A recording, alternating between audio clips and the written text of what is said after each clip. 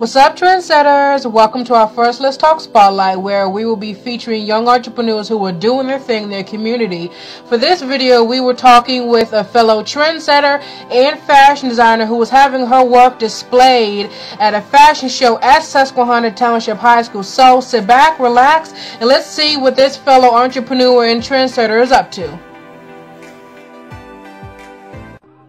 Tonight I am here at Susquehanna Township High School and I am here with one of the fashion designers from tonight's show. Now I want you to introduce yourself and tell us how old you are. Miracle Mathis, 18. I love your name by the way. Okay, so what got you started in fashion design? I was in 10th grade. I had came to this school like almost halfway through the year and they had like this little um seminar and they um talked about the different programs they had here and I was like, okay, this is what I want. This is what I wanted for forever. So then I was like, okay, I filled the application, and then there's like a pro, there's like an interview you have to go through. So in the interview, you get an interview, and then they you talk about what you want. Is it like do you want to like this is what you do with your life, um, the things that you your goals, and then you get you get let know um at the end of summer, and then they'll tell you that you got in, and then, then you start.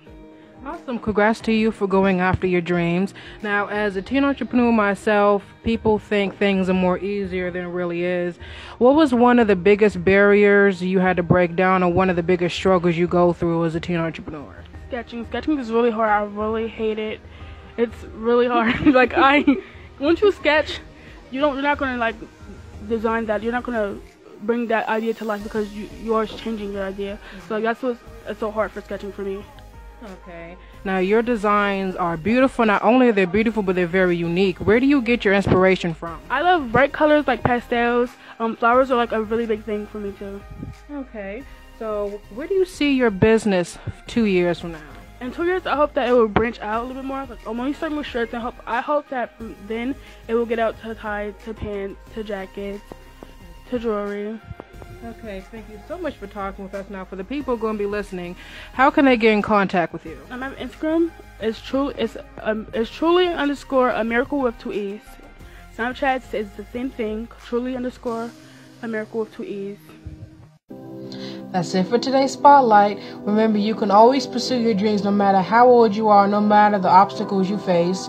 Again, congrats to Miracle and everything she's doing. I want you guys to go follow her on Snapchat and go follow her Instagram. And I cannot wait for her clothing line to come out because I'll be the first one in stores to buy it.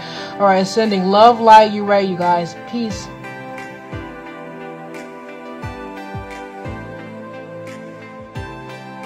Just say I'm beautiful. I'm worthy.